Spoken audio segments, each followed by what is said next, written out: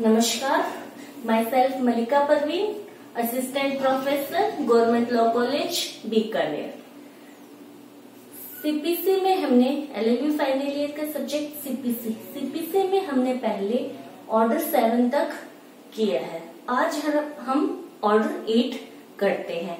Order eight क्या कहता है? ऑर्डर एट मैंने जैसे पहले बताया ऑर्डर सिक्स सेवन एट तीनों ही रिलेटेड है, जुड़े हुए हैं। ऑर्डर सिक्स तो क्या बताता है? प्लेटिंग अभिवचन क्या होता है? वाद पत्र और लिखित कथन दोनों ही अभिवचन होते हैं। तो ऑर्डर सेवन तो ये बताता है कि वाद पत्र लिखते समय या विरचित करते समय हमें किन बातों को ध्यान में रखना चाहिए? जो कि हमने पिछले वीडियो में किया था। अब आज हम ऑर्डर एट ऑर्डर एट में क्या लिखा है? तीन चीज़ें ऑर्डर एट में हम पढ़ेंगे। रिटर्न स्टेटमेंट यानी जवाब दावा। कौन प्रस्तुत करता है? प्रतिवादी प्रस्तुत करता है, ठीक है? और मुजराई के दावे सेट ऑफ़ और काउंटर क्लेम यानी प्रति दावा। ये तीन चीज़ें ऑर्डर एट में समाहित की गई है। तो हम आज ऑर्डर एट स्टार्ट करते हैं, ठीक है? ऑर्डर एट में तीन चीज़ें आएँगी रिटर्न स्टेटमेंट लिखित कथन सेट ऑफ़ मुजरई के दावे और काउंटर क्लेम प्रति दावा ये तीन चीज़ें ऑर्डर एट में बताई गई है जो कि मैंने यहाँ पे लिख लिए ठीक है? तो ऑर्डर एट रूल वन क्या कहता है? लिखित कथन। लिखित कथन कौन पेश करेगा? प्रतिवादी पेश करेगा। प्रतिवादी द्वारा रिटर्न स्टेटमेंट प्रस्तुत किया जाता है। ये बात हम पहले भी कहीं पढ़ के आए थे कि प्रतिवादी अपना जवाब दावा प्रस्तुत करता है। कहाँ पे पढ़ा था? सेक्शन सत्ताईस में पढ़ा था और ऑर्डर फाइव रूल वन में पढ़ा था कि जब वाद सम्यक रूप से संस्थित हो जाता है तो प्रतिवादी के नाम समन निकाला जाता है। किस लिए निकाला जाता है? कि वो अपना जवाब दावा प्रस्तुत कर चुके कर सके। ठीक है? तो यहाँ पर ऑर्डर एट रूल वन ये कहता है कि जब जब प्रतिवादी पर सम्मन की तामील हो चुकी है, यानी उसको सूचना मिल चुकी है कि मेरे विरुद्ध ये वाद संस्थित किया गया यानी समन की तामील हो चुकी है। समन की तामील की तारीख से, यानी जिस दिन उसको सूचना या नोटिस होगी हो गया है कि मेरे विरुद्ध वाद संस्थित हो गया। यानी समन की तामील की तारीख से 30 दिन के भीतर 30 दिनों के भीतर प्रतिवादी को अपना जवाब दावा लिखित कथन न्यायालय में प्रस्तुत करना होता है। क्या करना होता है? जवाब दावा यानी वादी ने जो बात कही वाद पत्र में, उसका जवाब प्रस्तुत करना होता है प्रतिवादी को। प्रतिवादी को, यानी जब समन की तामील हो चुकी है तो तामील की दिनांक से, मैं बोलू तामील की दिनांक से, न कि वाद संस्थित करने की दिनांक से। यानी तामील के दिनांक से प्रतिवादी को 30 दिन के भीतर अपनी प्रतिरक्षा का लिखित कथन, जवाब दावा रिटर्न स्टेटमेंट न्यायालय में प्रस्तुत करना होता। और मान लो अगर प्रतिवादी इन तीस दिनों के भीतर अपना जवाब दावा लिखित कथन प्रस्तुत नहीं कर पाता है। तो न्यायालय अगर युक्त समझता है तो उसे अधिकतम टाइम पीरियड दिया जा सकता है नब्बे दिन। यानी समन तामील की दिनांक से नब्बे दिन के भीतर भीतर वो अपना जवाब दावा प्रस्तुत कर सकता है। अधिकतम टाइम पीरियड है ये नब्बे दिन। इन नब्बे दिनों में वो तीस दिन इंक्लूड है। ये एक्स्ट्रा नहीं दिए जा रहे नब्बे दिन। वो तीस दिन इसमें इंक्लूड है। यानी नब्बे दिन अधिकतम टाइम पीरियड है। अगर इस नब्बे दिनों में वो अपना जवाब दवा प्रस्तुत नहीं करता है तो न्यायालय इसके विरुद्ध कार्रवाई कर सकता है। ठीक है? यहाँ पे तीस दिन में करेगा और तीस दिन में नहीं कर पाता। और न्यायालय युक्त समझता है तो वो नब्बे दिनों में अपना जवाब दावा प्रस्तुत कर सकता है। ये नब्बे दिन अधिकतम टाइम पीरियड है जवाब दावा प्रस्तुत करने के लिए। नेक्स्ट आता है order eight rule one A इसमें कह रहा है कि दस्तावेज़, यानी प्रतिवादी जिन दस्तावेजों या जिन डॉक्यूमेंट पे अपनी प्रतिरक्षा डिपेंड करना चाहता है, उन दस्तावेजों को वो लिखित कथन के साथ में एक सूची संलग्न करेगा कि भी इन इन दस्तावेजों पर मैं अपनी प्रतिरक्षा डिपेंड करता हूँ। वो उन दस्तावेजों की सूची, लिखित कथन के साथ में ही न्यायालय में फ़ाइल कर देगा। और इसके साथ में उन दस्तावेजों की एक कॉपी, यानी उनकी एक प्रतिलिपि न्यायालय में वो फ़ाइल करेगा। तो ऐसा ही दस्तावेजों से रिलेटेड और भी कहीं ऑर्डर पढ़ के आए थे अपन? पढ़ा था। कहाँ पे पढ़ा था? ऑर्डर फाइव रूल सेवन में कि प्रतिवादी जिन दस्तावेजों पे अपनी प्रतिरक्षा डिपेंड करना चाहता है, वो समन किया जाता है कि आप उन्हें न्यायालय में प्रस्तुत करो। और ऐसा ही एक ऑर्डर पढ़ा था हमने ऑर्डर ऑर्डर सेवन रूल चौदह, वादी। वादी जिन दस्तावेजों पर अपने दावे को डिपेंड करना चाहता है, उन दस्तावेजों को न्यायालय में प्रस्तुत करे। तो ये तीन ऑर्डर ऑर्डर है। पाँच, छह सॉरी पाँच, सात और आठ, जिनमें दस्तावेजों से रिलेटेड बात कही है। तो यहाँ पर कहा कि प्रतिवादी जिन दस्तावेजों पे अपनी प्रतिरक्षा डिपेंड करना चाहता है, उन्हें वो न्यायालय में जमा करे और उसकी एक सूची भी साथ में संलग्न करे। लेकिन कौन से ऐसे दस्तावेज़ है जिन्हें वह प्रस्तुत करने के लिए बाउंड नहीं है? दो बातें। एक तो वो अगर वादी के साक्ष्यों की प्रति परीक्षा यानी क्रॉस एग्जामिनेशन के लिए रखना चाहता है, उन दस्तावेजों को वो पेश करने के लिए बाउंड नहीं है।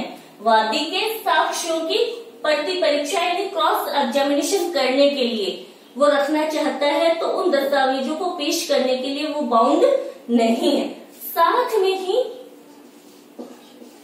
अगले, अपनी स्मृति ताज़ा अपनी स्मृति ताज़ा करने वाले अगर कोई डॉक्यूमेंट है, उन्हें भी वो न्यायालय में पेश करने के लिए बाउंड नहीं है। और अगर वो ये कह दे कि कोई दस्तावेज़ है जिस पर मैं प्रतिरक्षा डिपेंड करना चाहता हूँ, लेकिन वो मेरे कब्जे में नहीं है, वादी के कब्जे में है तो इस बात का भाव या इस बात का कथन भी वो अपने जवाब दावे में, लिखित में करेगा। साथ में ही अगर कोई दस्तावेज़ उसे पेश करना था, पेश करना था लिखित कथन के साथ में ही, लेकिन वो उस समय पेश नहीं कर पाता है। बाद में जब साक्ष्य के रूप में उन दस्तावेजों को लिया जाता है तो बाद में पेश किए गए दस्तावेज़ को न्यायालय एज ए साक्ष्य के रूप में तब तक यूज़ नहीं लाएगा। लाएगा जब तक कि न्यायालय परमिशन ना दे दे। यानी जो दस्तावेज़ उसने लिखित कथन में उसके साथ भी पेश किया उन्हें तो वो साक्षी के रूप में यूज़ लाया जा सकता है। लेकिन बाद में अगर कोई अतिरिक्त डॉक्यूमेंट न्यायालय की अनुमति से उसने फ़ाइल किया है तो न्यायालय अनुमति देगा, न्यायालय परमिशन देगा तो ही उसे साक्ष्य के रूप में यूज़ लाया जा सकता है। ठीक है? नेक्स्ट आता है rule two order eight rule two नए तथ्यों का विशेषता अभिवचन करना।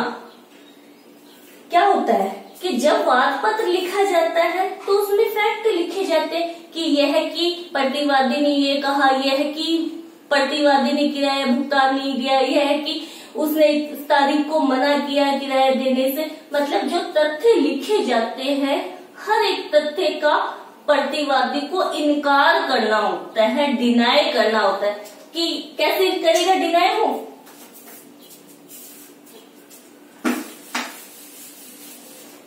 वो ये लिखेगा कि वादी के वाद पत्र की पैरा संख्या एक मुझे स्वीकार नहीं है, पैरा संख्या दो मुझे स्वीकार नहीं है, पैरा संख्या तीन मुझे स्वीकार नहीं है।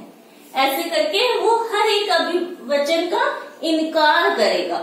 और साथ में अगर वो अपनी ओर से कोई नई बात कहना चाहता है नया तथ्य न्यायालय को बताना चाहता है कि जैसे मान लो दावा था वादी कहता है कि बी किराएदार है इसने किराए का भुगतान नहीं किया। तो वो पहले मने कर, मना करेगा कि हाँ मैंने किराया दिया था मई का दिया था या ये तथ्य मुझे स्वीकार नहीं है या ये तथ्य मुझे स्वीकार नहीं। विशेष रूप से वो लिखेगा, अतिरिक्त कथन लिखेगा नीचे। अतिरिक्त कथन।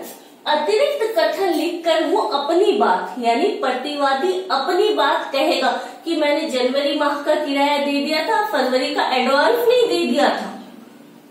फरवरी का एडवांस ऐसे करके वो अतिरिक्त कथन डालकर ये बात जवाब दावे में लिखता है। पहले तो वाद पत्र वाले तथ्यों से इनकार करता है डिनाई करता है। उसके बाद में अगर प्रतिवादी को कोई बात कहनी है, अपनी प्रतिरक्षा में कोई अतिरिक्त कथन न्यायालय को बताना है तो वो अतिरिक्त कथन डाल लेगा पॉइंट और उसके नीचे ये है कि प्रतिवादी के द्वारा वादी को किराया भुगतान कर दिया गया था, या फरवरी या जनवरी, फरवरी का एडवांस ही किराया भुगतान कर दिया गया था। या इनके बीच में कांटेक्ट हुआ था कि तीन महीने तक किराया भुगतान करना नहीं है। यानी वो अतिरिक्त बात लिखेगा। नेक्स्ट आता है ऑर्डर एट रूल तीन रूल चार रूल पाँच, तीनों ही जो रूल है, वो एक साथ में पढ़ेंगे। इन एक साथ में पढ़ने का मतलब ये है कि इसको आसानी से समझ में आ जाएगा। न्यायाधीश सुब्बा राव ने Badat and company versus East India company trading company में ये बताया कि इन तीनों रूल को एक साथ इसलिए पढ़ना चाहिए कि सीपीसी में, सिविल प्रक्रिया संहिता में जो लिखित कथन या जवाब द्वारा तैयार किया जाता है, उसमें सहायता मिलती है। तो रूल तीन क्या कहता है? जो डिनाई किया जा रहा है, वो विनिर्दिष्ट होगा। विनिर्दिष्ट होगा मतलब जो डिनाई कर रहा है, वो ये ऐसा नहीं कि मुझे वो अगर प्रतिवादी ये कह दे कि मुझे वादी के ने जो दावा किया वो मुझे स्वीकार नहीं है, ऐसा नहीं। उससे विनिर्दिष्ट है प्रख्यान या डिनाई करना है, यानी वो कहेगा कि पैरा संख्या मुझे एक स्वीकार नहीं है, पैरा संख्या मुझे दो क्यों स्वीकार नहीं है, पैरा संख्या तीन मुझे स्वीकार नहीं है। पैरा संख्या चार अंशतः स्वीकार है अंशतः इनकार करेगा। मतलब हर एक पैरा का विनिर्दिष्ट डिनाई करेगा। ऐसा नहीं कहेगा कि वादी ने जो दावा किया है, मुझे स्वीकार नहीं ऐसा नहीं। उसे हर एक पैरे का डिनाई करना है, इनकार करना होगा। नेक्स्ट आता है इसमें। नेक्स्ट जो आ रहा है कि वाग छल पूर्वक प्रख्यान डिनाई करना। यानी, हर एक पैरा का जो इनकार करेगा, उसे वर्णन सहित इनकार करेगा। टाल मटोल के हिसाब से इनकार नहीं करना, कि जो वादी ने बात कही है, वो तो मैंने वहाँ गया था, ये हुआ था, वो हुआ था, ऐसा इनकार डिनाई नहीं करना है। बल्कि जो डिनाई किया जाएगा, वो वर्णन सहित किया जाएगा। एग्ज़ाम्पल एक वाद करता है स्वामित्व के लिए, भूमि की मालिकाना हक के लिए, जो कि बी के कब्जे में है। ये कहता है, मैं इसका स्वामी हूँ, मुझे इसका कब्जा दिलाया जाए और बी उस पर कब्जाधारी है। ये इसका मालिक नहीं है। तो वहाँ पर बी को जब जवाब दावा प्रस्तुत करेगा तो वो ये बताएगा कि मैं किराएदार नहीं हूँ।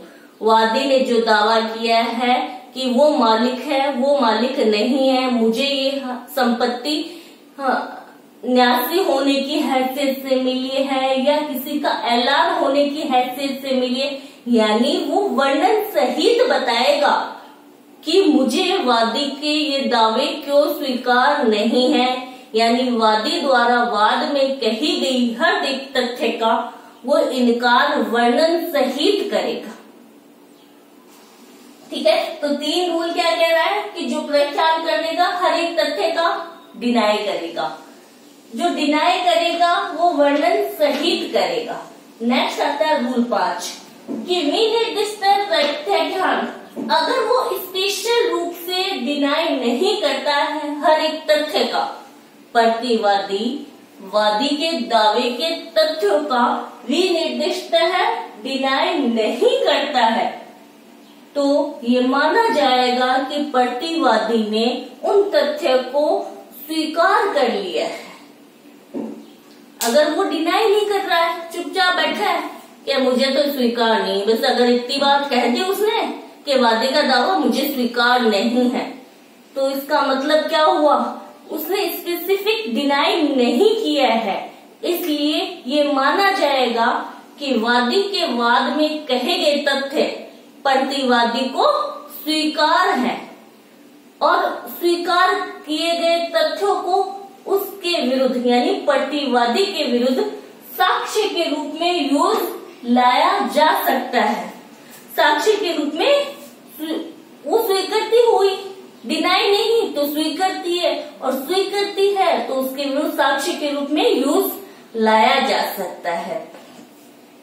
और उस स्वीकृति के आधार पे न्यायालय निर्णय भी दे सकता है। तो इसलिए इन तीनों को ये है कि जब लिखित कथन पेश किया जाता है या इसकी विरचना की जाती है तो डिनाई करना है डिनाई वर्णन सहित करना है। अगर डिनाई नहीं किया तो माना जाएगा वो तथ्य प्रतिवादी को स्वीकार है।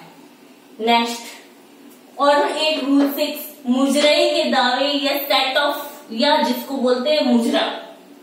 क्या होता है मुजरा? मुजरा एक बचाव है। जैसे ए और बी के बीच में धनराशि से संबंधित कोई वाद आता है। ए कहता है कि मैं बी में पाँच हज़ार रुपये माँगता हूँ। बी है बी में पाँच हज़ार रुपये माँगता हूँ, वो मेरा भुगतान कर नहीं रहा। तो प्रतिवादी जब अपना जवाब दावा प्रस्तुत करता है। तो अब जवाब दावे में यह अभिकथन कर सकता है कि वो भी प्रतिवादी में, वो भी वादी में दो हज़ार रूपए सामने से मांग रहा है। वो एक ही समयवार में हो, लेकिन जिस धनराशि की मांग प्रतिवादी द्वारा की जाएगी, वो धनराशि उस न्यायालय की आर्थिक क्षेत्राधिकार से अधिक नहीं होनी चाहिए। यानी मूल दावे और मुजरई के दावे सेट ऑफ़ के जो दावे हैं, उन दोनों की जो धनराशि की मांग जो की जा रही है, वो न्यायालय की आर्थिक सीमा से अधिक नहीं होनी चाहिए। तो मुजरई के दावे में आवश्यक तत्व क्या होते हैं? उसको मैंने एक एक करके यहाँ पर लिखा है। तो सबसे पहले मुजराई का दावा कौन से वाद में किया जाएगा? जब वादी धन की वसूली के लिए कोई वाद करता है। जैसे ए है बी के विरुद्ध पाँच हज़ार रूपए की मांग कर रहा है। तो धन की वसूली कर मांग है कि बी से मुझे पाँच हज़ार रूपए दिलाए जाए। ऐसे वाद में धनराशि निश्चित होनी चाहिए। धनराशि निश्चित है और बी सामने से दावा करता है। कि मुझे दो हज़ार रूपए मैं भी ए में माँगता हूँ। तो दोनों में ही दोनों धनराशि निश्चित होनी चाहिए। साथ में धनराशि वैध रूप से वसूली योग्य होनी चाहिए।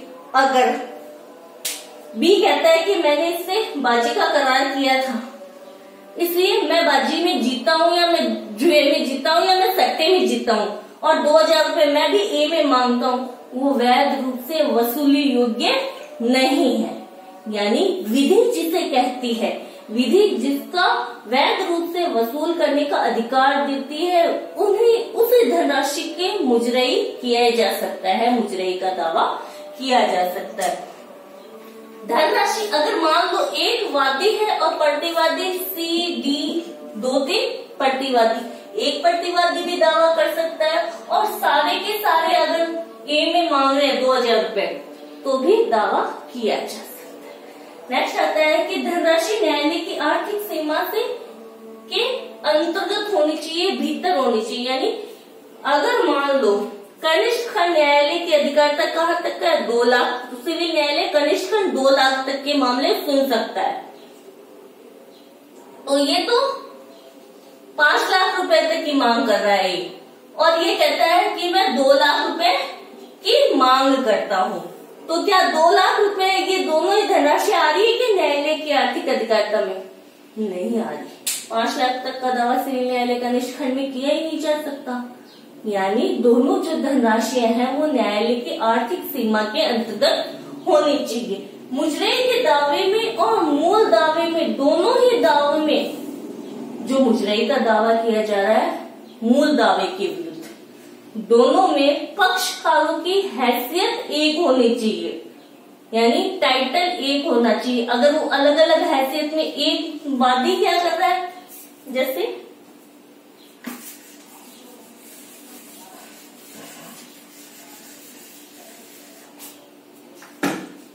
ए और बी के बीच में कांटेक्ट हुआ। ए कहता है, मैं पाँच हज़ार रुपये आपको दूँगा, जब आप मेरे लिए मकान बना दोगे बी मकान बनाता नहीं है। बी मकान बनाता नहीं है। तो ए पाँच हज़ार रुपये देता नहीं है। दोनों ने ही संविदा भंग कर दी। संविदा भंग कर दी। तो बाद में क्या है? ए की मृत्यु हो गई। ए की मृत्यु हो गई।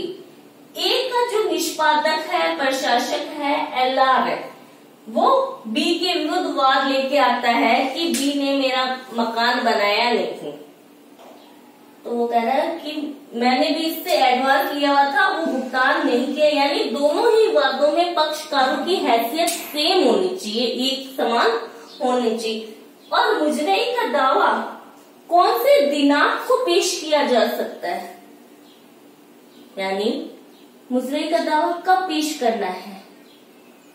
लिखित कथन फ़ाइल करने के दिनांक को ही मुजरई का दावा फ़ाइल कर देना चाहिए। यानी मुजरई का दावा क्या होता है? ऐसा नहीं है कि आपने लिखित कथन तो समन की तामील हुई, उससे तीस दिन के भीतर आपको जवाब दावा प्रस्तुत करना था। आपने जवाब दावा तो प्रस्तुत कर दिया प्रतिवादी। लेकिन उसने मुजरई का दावा प्रस्तुत नहीं किया। और बाद में वो कभी जागता है और कहता है कि मैं भी वादी में दो हज़ार रूपए माँगता हूँ। तो ऐसा मुजरई का दावा फ़ाइल नहीं किया जा सकता जब तक कि न्यायालय अनुमति ना दे। तो सीधी सी बात है कि मुजरई का दावा कब करना चाहिए? लिखित कथन फ़ाइल करने के साथ में ही मुजरई का दावा सेट ऑफ़ का दावा फ़ाइल कर देना चाहिए। अगर उस समय नहीं करता है तो न्यायालय अनुमति दे तो लिखित कथन फ़ाइल करने के बाद में भी मुजरई का दावा किया जा सकता है, ठीक है?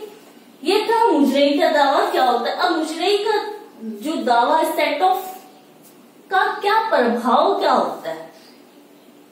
एक तो मूल दावा वादी ने किया, उसका उत्तर जवाब दावा प्रतिवादी फ़ाइल कर रहा है, और उसके साथ में उसने सेट ऑफ़ या मुजरई का दावा लगा दिया। तो मुजरई का दावा एक अलग वाद का प्रभाव रखता है। मूल वाद तो मान लो ए ने फ़ाइल किया और मुजरई का दावा बी ने फ़ाइल किया।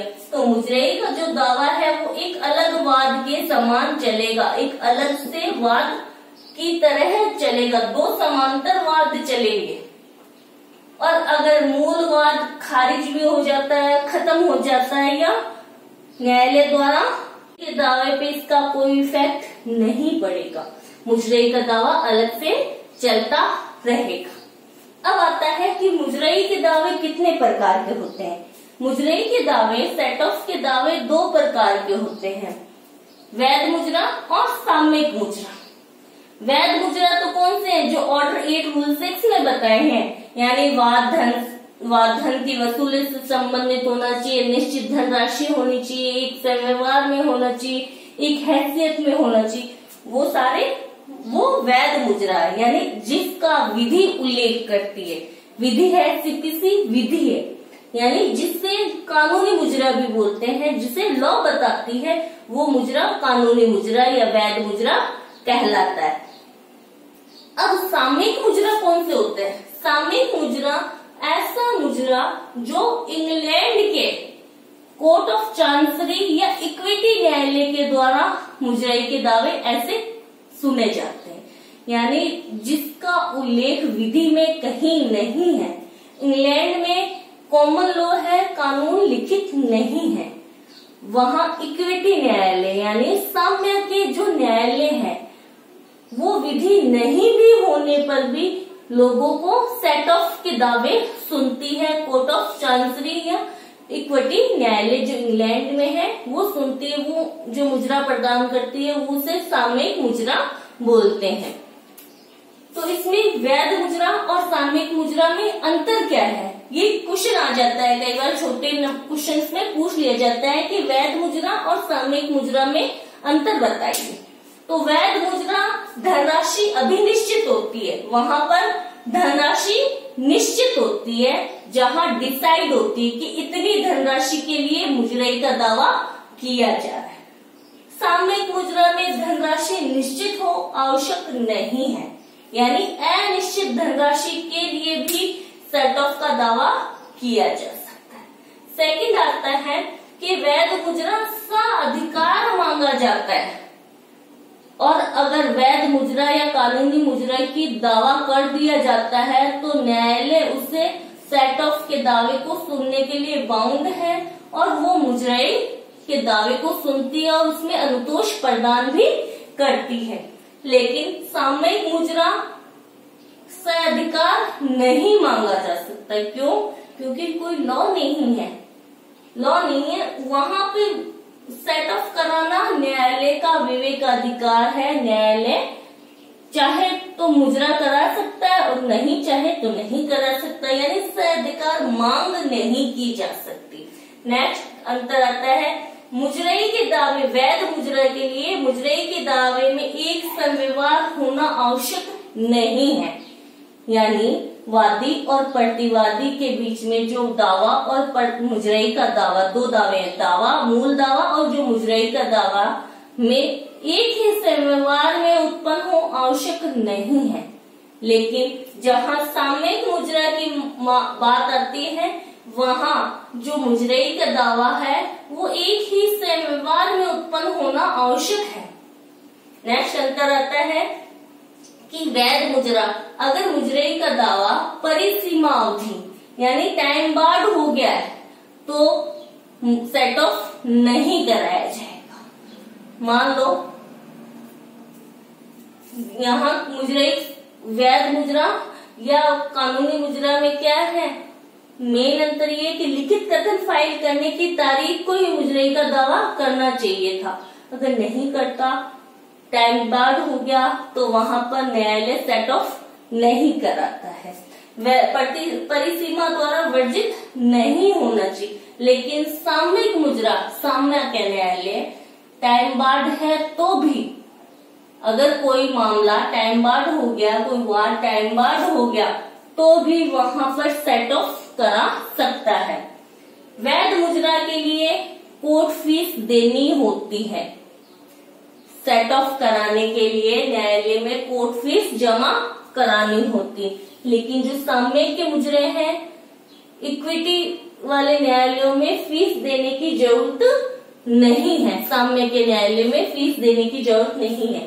तो ये वैध मुजरा और साम्य के साम्यिक मुजरा में मेन अंतर थे चार पाँच, ठीक है? ये छोटा क्वेश्चन आ जाता है कई बार। नेक्स्ट अपन पढ़ते हैं order eight, rule six eight प्रति दावा या काउंटर क्लेम। प्रति दावा क्या है? वैसे ही जिस तरह मुजरई का दावा, वादी के दावे के विरुद्ध किया जाता है, वैसे ही प्रति दावा, वादी के दावे के विरुद्ध से अधिकार मांगा जाता है, जिसके लिए प्रतिवादी एक अलग वाद भी संस्थित कर सकता है। लेकिन वो अलग वाद संस्थित नहीं कर रहा है। वो अपने जवाब दावे में ही काउंटर क्लेम कर देता है, प्रति दावा कर लेता है। तो इसको समझेंगे कैसे? ये अंतर बाद में मैं बताऊँगी कि कौन सा दावा मुजरई का दावा होगा और कौन सा दावा प्रति दावा होगा। तो प्रति दावा में एग्ज़ाम्पल जैसे ए पाँच हज़ार रूपए के ये बी के विरुद्ध वाद फ़ाइल करता है। ये तो था मूल दावा। अब भी अपना जवाब दावा जब प्रस्तुत करता है तो वो कहता है कि मैं ए में दस हज़ार रूपए मांग रहा हूँ। मैं ए में सामने से दस हज़ार रूपए मांग रहा हूँ। तो ये क्या था? ये प्रति दावा था। यानी वादी के दावे के विरुद्ध एक काउंटर प्रतिवाद करना है। काउंटर दावा करना है कि मैं तो सामने से इसमें इतने पैसे मांग रहा हूँ। जिसके लिए वो अलग से वाद भी संस्थित कर सकता है। लेकिन वो अलग से वाद उसने संस्थित नहीं किया और अपने जवाब दावे में ही काउंटर क्लेम कर देता है प्रति दावा कर देता है। यहाँ भी वही शर्तें हैं, धनराशि निश्चित होनी चाहिए। साथ में वो धन दोनों जो प्रतिदावा की, जो राशि मांग की जा रही है, वो न्यायालय की आर्थिक क्षेत्र अधिकार के भीतर होनी चाहिए। एक ही व्यवहार में उत्पन्न हो, ये आवश्यक नहीं है। मुजरई के दावे में एक व्यवहार में उत्पन्न होना आवश्यक है, जबकि प्रति दावे में एक व्यवहार में उत्पन्न होना आवश्यक नहीं है। प्रति दावे का प्रभाव क्या होगा? प्रति दावे का प्रभाव ये होगा कि एक अलग वाद जैसे उसने संस्थित किया है। तो इसके प्रति दावे से संबंधित रूल है order eight rule six B से लेके सिक्स जी तक। प्रतिवादी प्रति दावे से संबंधित प्रावधान बताए गए हैं। उसमें क्या क्या बताया हुआ है? जैसे प्रति दावे का प्रभाव क्या होता है? एक अलग वाद के समान होता है। तो बी सिक्स बी क्या कहता है? रूल सिक्स बी ये कहता है, जब लिखित कथन वो फ़ाइल करता है, प्रतिवादी लिखित कथन फ़ाइल करता है तो उसे अतिरिक्त विनिर्दिष्ट रूप से लिखना होगा कि वो भी प्रतिवादी के विरुद्ध इतनी धनराशि की मांग करता है। यानी विनिर्दिष्ट रूप से उसे कथन करना होगा। जैसे मैंने बताया, अतिरिक्त कथन करेगा। वैसे ही प्रतिदावा जब वो कर रहा है तो उसे विनिर्दिष्ट रूप से लिखना होगा। लिखित कथन के साथ में विनिर्दिष्ट, यानी स्पेशली लिखना होगा। कि मैं भी वादी के विरुद्ध इतनी धनराशि की मांग करता हूँ या इतने पैसे मैं भी माँगता हूँ। नेक्स्ट इसमें आता है C six C six C ये कहता है कि जब प्रतिदावा फ़ाइल हो चुका है और प्रतिदावा फ़ाइल होने के बाद में वादी न्यायालय से आवेदन कर सकता है कि मेरे मूल जो दावा है उसको अलग दावे के रूप में सुना जाए। और अगर न्यायालय संतुष्ट हो जाता है तो उसे अलग दावे के रूप में सुना जाएगा और जो प्रति दावा है, उसका अपवर्जन कर दिया जाएगा। अगर न्यायालय संतुष्ट होता है तो वहाँ प्रति दावे का अपवर्जन कर दिया जाएगा। फिर आता है ऑर्डर एट रूल सिक्स का सी सॉरी सी हो गया दावे का अपवर्जन। उसके बाद में आता है ई डी आता है. डी आता है सॉरी डी डी में ये बताया कि अगर मूल दावा जो ए ने बी के विरुद्ध किया, वो ए की गलती के कारण खारिज कर देता है न्यायालय. तो क्या प्रति दावा भी जो बी ने किया है, वो भी खारिज हो जाएगा क्या? नहीं. जैसा कि मैंने सिक्स ए में बताया कि प्रति दावे का प्रभाव क्या होता है? एक अलग वाद के समान होता है. तो मूल दावा अगर वाद ए के द्वारा जो संस्थित था, वो खारिज भी हो जाता है तो प्रतिवादी द्वारा प्रति दावा खारिज नहीं होगा, वो न्यायालय में कंटिन्यू चलता रहेगा। इसके बाद में आता है कि अगर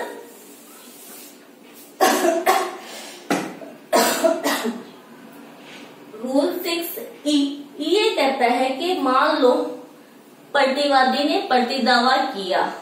प्रतिदावे का प्रभाव क्या एक अलग वाद के समान है? तो वो क्या माना जाएगा? एक वाद माना जाएगा, नया वाद है। अब वहाँ पे प्रतिवादी वादी हो गया। तो अब जवाब किसको देना होगा? मूल वाद के वादी को देना होगा, क्योंकि प्रति दावे में वो प्रतिवादी हो गया है। समझ आया? जैसे ए ने मूल वाद संस्थित किया था बी के विरुद्ध। बी ने फ़ाइल कर दिया ए के विरुद्ध प्रति दावा काउंटर क्लेम फ़ाइल कर दिया। अब बी ने काउंटर क्लेम फ़ाइल किया है तो इसका जवाब किसको देना होगा? मूलवाद के वादी को। मूलवाद के वादी को इसका जवाब देना होगा। और अगर मूलवाद का वादी जवाब देने में व्यतिक्रम करता है, डिफॉल्टर होता है। तो न्यायालय उस वादी के विरुद्ध अलग, उस वादी के विरुद्ध न्यायालय जो समझे वो कार्रवाई कर सकता है।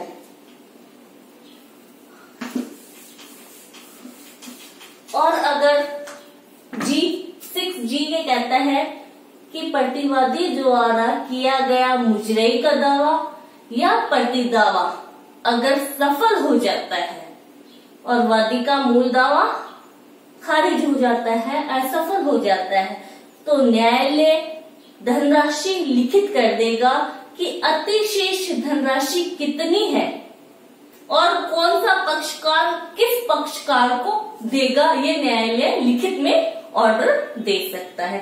तो ये सिक्स बी से लेके सिक्स जी तक प्रति दावे से संबंधित प्रोविज़न थे। यानी प्रति दावा अलग से चलता रहता है, मूल दावा अलग से चलता रहता है, मूल दावा खारिज भी हो गया तो प्रति दावा कंटिन्यू रहेगा। प्रति दावा में अगर वादी जवाब पेश करने में असफल रहता है तो न्यायालय वादी के विरुद्ध कार्रवाई कर सकता है। ठीक है? नेक्स्ट आता है order eight rule order eight rule seven पृथक आधारों पे प्रतिरक्षा प्रतिवादी जब अपना जवाब दावा प्रस्तुत करता है। प्रतिवादी अपना जवाब दावा प्रस्तुत करता है तो जितने जितने आधार वाद पत्र में थे, उन सब की पृथक पृथक प्रतिरक्षा करेगा। ये तो क्या था? मूल दावे के विरुद्ध प्रतिरक्षा कौन करेगा? प्रतिवादी करेगा। और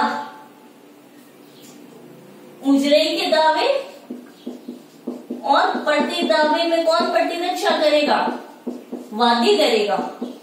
तो दोनों पक्षकारों को कहा गया है रूल सेवन में, पृथक आधार है तो पृथक प्रतिरक्षा करेगा। मूल दावे के विरुद्ध तो प्रतिवादी प्रतिरक्षा करेगा और मुजरई का दावा और set off sorry set off और काउंटर क्लेम है।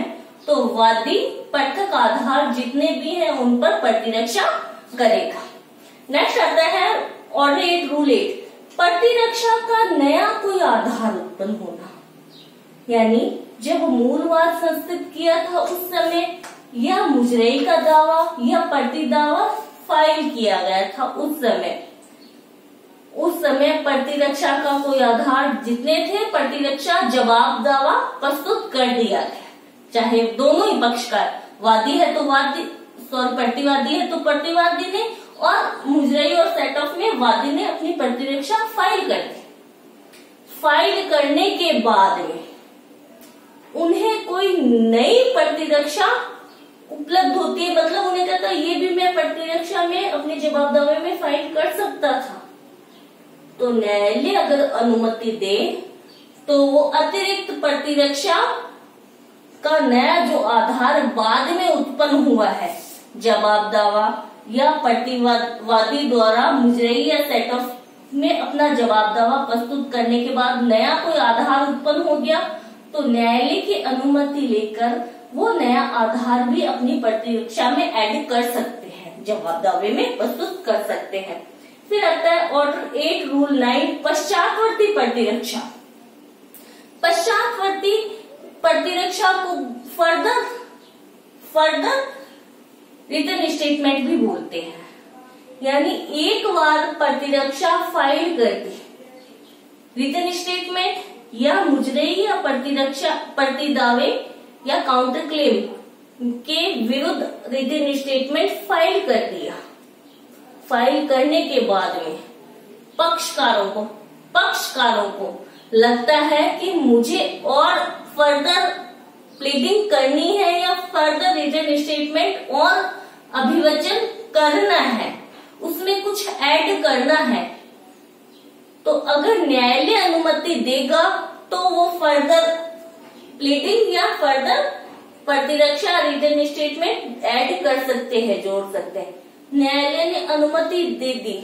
न्यायालय ने अनुमति देने की तारीख से 30 दिन के भीतर भीतर उनको अपनी प्रतिरक्षा में वो कथन फ़ाइल करना होता है। ठीक है? फिर आता है ऑर्डर एट रूल टेन कि लिखित कथन पेश करने में असफल रहने पर प्रक्रिया। दोनों बातें आ जाएगी इसमें। प्रतिवादी प्रतिवादी आ जाता है। प्रतिवादी लिखित कथन मूल दावे के विरुद्ध पेश करने में असफल रहता है तो क्या होगा? उसके विरुद्ध एक पक्षीय कार्रवाई हो सकती है। और ऐसे ही मुजरई और प्रति दावे के विरुद्ध वादी अगर लिखित कथन फ़ाइल करने में असफल रहता है तो उसके विरुद्ध भी कार्रवाई न्यायालय कर सकता है। यानी अगर कोई व्यक्ति पक्षकार, अगर कोई पक्षकार लिखित कथन फ़ाइल करने में असफल रहता है तो न्यायालय उसके विरुद्ध एक पक्षीय कार्रवाई कर सकता है। अब आता है लास्ट मुजरई और सेट ऑफ़ और काउंटर क्लेम में मेन अंतर क्या आता है, ये क्वेश्चन पूछा जाता है लगभग। के मुजरई के दावे और सेट ऑफ़ काउंटर क्लेम के दावे में अंतर क्या है? तो अंतर है सबसे पहला कि सेट ऑफ़ का जो कार्रवाई होती है सेट ऑफ़ की जो कार्रवाई होती है, वो क्या है? वादी के धन संबंधी दावे के विरुद्ध। बचाव संबंधी कार्रवाई है। एक्शन है। रिएक्शन नहीं है। एक्शन है। ए बी के विरुद्ध कार्रवाई कर रहा है तो बी भी कहता है, मैं भी इतने पैसे इसमें मांग रहा हूँ। मतलब वो कम पैसे की मांग कर रहा है तो वो बचाव कर रहा है अपना। कि इतने पैसे तो मैं भी माँगता हूँ। यानी वो अपना बचाव कर रहा है। और जबकि काउंटर क्लेम सारभूत रूप से एक प्रतिवाद है। मतलब एक अलग से एक वाद फ़ाइल किया जा रहा है काउंटर क्लेम में, ठीक है? तो ये एक्शन है सेट ऑफ़ और counter claim cross action reaction है। नेक्स्ट आता है अंतर कि सेट ऑफ़ का जो वाद है, उसमें अभिनिश्चित धनराशि एक ही व्यवहार में उत्पन्न होनी आवश्यक है। यानी ए और बी जो पैसे एक दूसरे से मांग कर रहे हैं। वो एक ही व्यवहार में होना आवश्यक है, जबकि काउंटर क्लेम में एक ही व्यवहार में मांग का होना आवश्यक नहीं है। नेक्स्ट अंतर आता है कि सेट ऑफ़ की या मुजरे के दावे की मांग कब तक की जा सकती है, कब तक संस्थित किया जा सकता है। यदि वाद संस्थित किए जाने की तारीख से वसूली होगी, यानी जो बी है, जो सेट ऑफ़ मुजरे का दावा करना चाह रहा है, उसका अधिकार कब तक होना चाहिए? ए जो वादी है, वो जब वाद संस्थित कर रहा है, तब तक बी का वाद धनराशि वसूल करने का अधिकार होना चाहिए। समझ आया? नहीं है। जैसे ए बी के विरुद्ध वाद संस्थित कर रहा है और बी कह रहा है, मैं भी इसमें मुजरे का दावा करता है। तो जो मुजरे के दावे बी की अधिकार कब तक बना रहना चाहिए? जब तक कि ए वाद संस्कृत करना की तारीख तक। यानी ए ने अगर जनवरी में वाद संस्कृत किया तो बी भी जनवरी की, जनवरी तक पैसे मांगने का अधिकारी होना चाहिए। यानी सेट ऑफ़ की मांग कब कर की जा सकती है? जब मूल वाद मूल दावे में वादी वाद संस्थित करने की तारीख को प्रतिवादी का सेट ऑफ़ कराने का अधिकार हो या धनराशि वसूल करने का अधिकार हो तब तक। इसमें आता है प्रतिदावा प्रतिवादी का काउंटर क्लेम कर रहा है तो उसका अधिकार कब तक होना चाहिए? लिखित कथन दाखिल किए जाने की तारीख तक उसका अधिकार बना रहना चाहिए। लिखित कथन यहाँ तो वाद संस्कृत करने की तारीख तक और वहाँ रिटर्न स्टेटमेंट फ़ाइल करने की तारीख तक अगर उसका अधिकार है, धनराशि वसूल करने का तो प्रति दावा काउंटर क्लेम कर सकता है। सेट ऑफ़ की प्रकृति कैसी है बचाव की ढाल के समान है। यानी वादी बी के विरुद्ध आक्रमण कर रहा है तो बी क्या कर रहा है? अपना बचाव कर रहा है। सेट ऑफ़ के द्वारा या मुजरई के दावे के द्वारा अपना बचाव कर रहा है। जबकि काउंटर क्लेम की प्रकृति कैसी है? प्रति दावे की प्रकृति एक तलवार की भांति है। वो सामने से आक्रमण कर रहा है। ये कहता है, मैं दस हज़ार रूपए मांग रहा हूँ। भी कहता है, मैं आपने बीस हज़ार रूपए मांग रहा हूँ। यानी वो सामने से आक्रमण कर रहा है। नेक्स्ट अंतर आता है कि अगर धनराशि वादी मूल दावे से में जितनी धनराशि मांग की जा रही है, और प्रतिवादी उससे कम धनराशि मांग करता है तो वो मुजरई का दावा है, और अधिक की मांग कर लेता है। वादी से अधिक की धनराशि मांग कर लेता है अगर प्रतिवादी तो वो प्रति दावा काउंटर क्लेम है। तो ये कुछ अंतर थे मुजरई के दावे और पड़ती दावे में। आई होप समझ आया होगा। आगे हम ऑर्डर नाइन करेंगे अगले वीडियो में. Thank you so much